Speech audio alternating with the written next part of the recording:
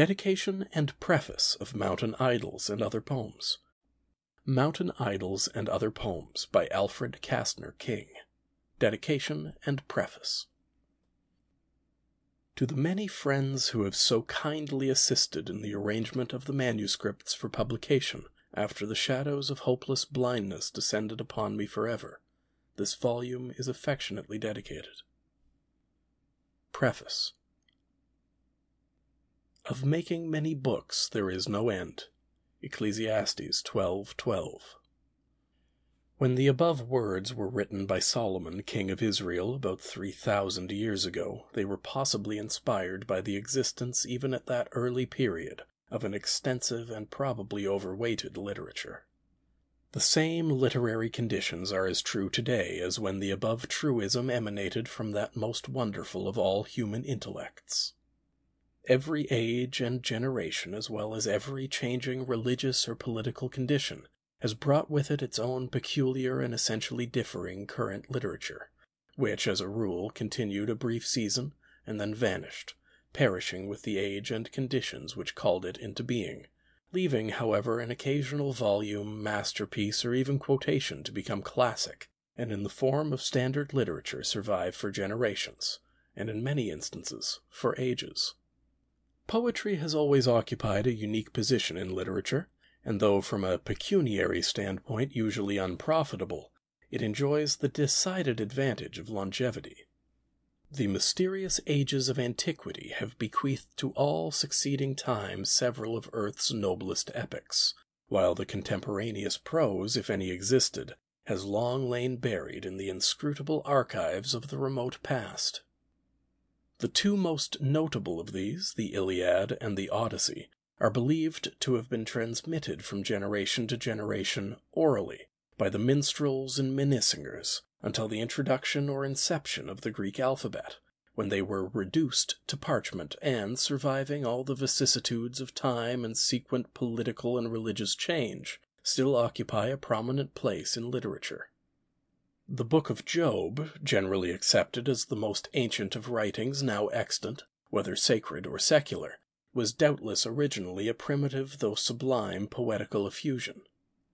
The prose works contemporaneous with Chaucer, Spenser, and even with that most wonderful of literary epochs, the Elizabethan age, are now practically obsolete, while the poetical efforts remain in some instances with increased prominence. Someone, although just who is difficult to determine, though it savors of the Greek school of philosophy, has delivered the following injunction Do right because it is right, not from fear of punishment or hope of reward. Waiving the question as to whether it is right or not to compose poetry, he who aspires in that direction can reasonably expect no material recompense, though the experience of Dante, Cervantes, Leigh Hunt, and others proves conclusively that poets do not always escape punishment. In fact, about the only emolument to be expected is the gratification of an inherent and indefinable impulse, which impels one to the task with equal force, whether the ultimate result be affluence or a dungeon. The author of this unpretentious volume has long questioned the advisability of adding a book to our already inflated and overloaded literature, unless it should contain something in the nature of a deviation from beaten literary paths. Whether the reading public will regard this as such or not is a question for the future to determine, as every book is a creature of circumstance, and at the date of its publication an algebraic unknown quantity. It was not the original intention of the author to publish any of his effusions in collective form until more mature years and riper judgment should better qualify him for the task of composition, and should enable him to still further pursue the important studies of etymology, rhetoric, Latin, and Greek, and complete the education which youthful environment denied. On the 17th of March, A.D. 1900, occurred an accident in the form of a premature mining explosion, which banished the light of the Colorado sun from his eyes forever, adding the almost insurmountable barrier of total and hopeless blindness to those of limited means and insufficient education. At first further effort seemed useless, But as time meliorates in some degree even the most deplorable and distressing physical conditions, ambition slowly rallied, and while lying for several months a patient in various hospitals in an ineffectual attempt to regain even partial sight, the following ideas and efforts of past years were gradually recalled from the recesses of memory, and reduced to their present form, in which, with no small hesitation and misgiving, they are presented to the consideration of the reading public, which in the humble opinion of the author has frequently failed to receive and appreciate productions of vastly superior merit. Ouray, Colorado, March 15th, 1901. End of dedication and preface. This recording is in the public domain.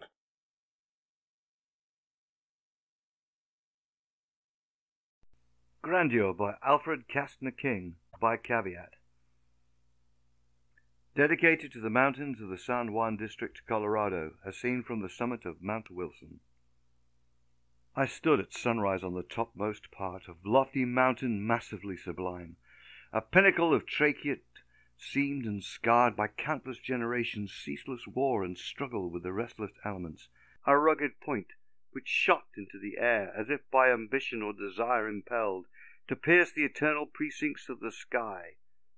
Below, outspread, a scene of such terrific grandeur lay that reeled the brain of what my eyes beheld.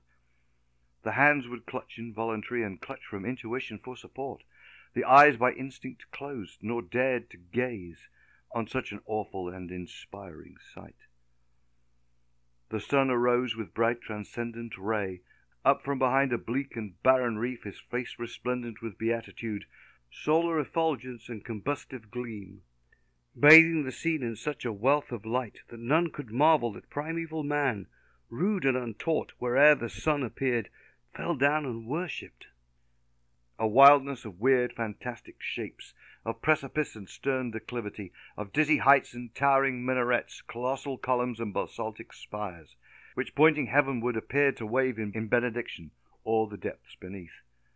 Uneven crags and cliffs of various forms, abysmal depths and dire profundities, chasms so deep and awful that the eye of soaring eagle dare not gaze below lest dizzied he should lose his aerial poise, and headlong falling reach the gulf beneath. Majestic turrets in the stately dome, which ovaled by the slow but tireless hand of eons of disintegrating time, still with impressive aspect rears its brow, defiant of mutation and decay. The crevice deep and inaccessible, fissure and rent where the intrusive dike's creative and destructive agency leaves many an enduring monument of metamorphic and eruptive power, of molten deluge and volcanic flood, fracture and break, the silent stories tell of dire convulsion in ages past, of subterranean catastrophe and cataclysm of internal force. The trachyte wall beseamed and battle scarred, the porphyritic tower and citadel, the granite ramparts and embattlements of nature's fort, impregnable and wild, stand as a symbol of eternal strength and hurl a challenge to the elements. Canyons of startling and appalling depths, with caverns vast and gloomy, which would seem meet for the haunt of centaur or of gnome, the gorgon and the labyrinthodon, the clumsy mammoth and the dinosaur, or all gigantic and unwieldy shapes which earth has seen in the mysterious past, would seem in more accord and harmony with such surroundings than the puny form of insignificant, conceited man. And interspersed amid these solemn peaks lie many a pleasant vale and grassy slope, besprinkled with the drooping columbine and fragrant growths of all harmonious tints, whose variegated colours punctuate grandeur with beauty and fearless bloom. In the forbidding shadows of the cliffs, and to the margin of the snowy combes which still resist the sun's persuasive rays. A lakelet, cool, pellucid, and serene, fed by the drippings from eternal snows, lies like a mirror neath a frowning cliff, or as a gem majestically ensconced in diadem of crag and pinnacle. Down towards the distant valley's sultry clime, both solitary and in straggling groups, in solid phalanx, rigid and compact, in labyrinth of branches interspread, impervious to the rain and midday sun, in form spontaneous without regard to the law of uniformity, there stand, in silent awe, or whispering to the breeze, the sombre fir and melancholy pine, and many a denuded avenue of varying and considerable width cut through the growth of balsam, spruce, and pine, which stands erect and proud on either hand, attest the swift, desolating force of fearful, devastating avalanche. The mountain rill its pleasant music makes, as the descendant waters roll along in rhythmic flow and dulcet cantabile, in various concord and harmonious pitch, pursuant of its journey to the sea, the murmuring treble of the rivulet, uniting with the deep and ponderous bass of torrent wild and foaming cataract, the thunderous reverberating tones and seething ebullition of the falls are blended in one grand euphonious chord. Far in the hazy distance, as the eye with vague perceptive vision penetrates, lie the vast mesas of ethereal hue, stretched in a calm and sleepy quietude, dreamy repose and blue tranquillity. The eye rests upon the drowsy scene beholds a dim horizon which presents no line of demarcation or of bounds, a merging union, blurred and indistinct, fulginous confusion that the eye in viewing gazes, but no more discerns which is the earth and which the azure sky. But mark the change.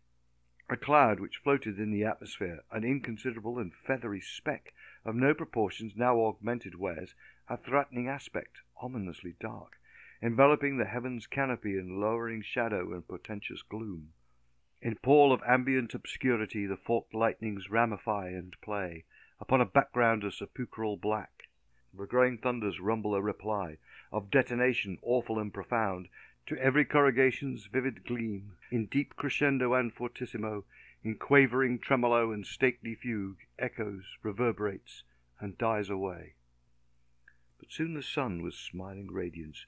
Through orifice, through rift and aperture, invades the storm and dissipates the clouds, which scatter, cowering and ephemeral, hugging the cliffs or the dire abyss, hover in fleecy, ever-changing form, and in a transient season disappear, vanish, as man must vanish, and are gone.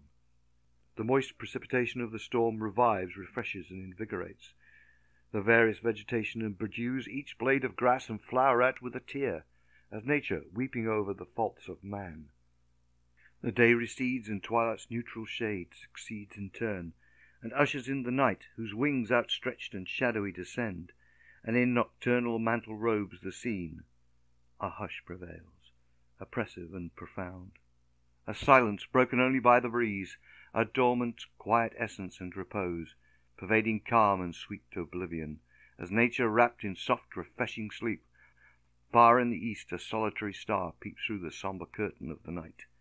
In hesitating dubitation burns in lowly splendor, flashes for a time, till scattering celestial lights appear, the vanguard of an astral multitude of constellations jeweled and serene, which fill the lofty dome of space until the heavens sparkle with the myriad of spectra, nebulae, and satellite, with stellar scintillation, and the orbs of less refulgence, which, reflective, shine with falling star and trailing meteor, in one grand culmination glittering to their Creator's glory. A burst of mellow lunar radiance inundates and illuminates the scene. The waxing moon in her meridian full, her beam vicarious disseminates, and shining hides with a superior light the twinkling beauty of the firmament. At the stupendous and inspiring sight of cosmic grandeur of the universe, a sense of vague and overwhelming awe, of inconceivable immensity, the being's inmost recess permeates, and man, the atom in comparison, in spellbound admiration mutely stands, with speculative meditation dwells on that most solemn of impressive thoughts, the goodness of the Deity to man. Footnote Composed at St. Anthony's Hospital, Denver, Colorado, from whence the author was led hopelessly blind. End of poem. This recording is in the public domain.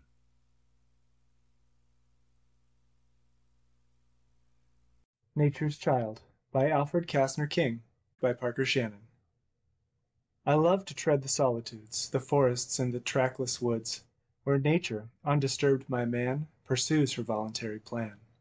Where Nature's chemistry distills the fountains and the laughing rills, I love to quaff her sparkling wine, and breathe the fragrance of the pine. I love to dash the crystal dews from floral shapes of varied hues, and interweave the modest white of columbine in garlands bright. I love to lie within the We hope you enjoyed this preview. To continue listening to this audiobook on Google Play Books, use the link in the video description.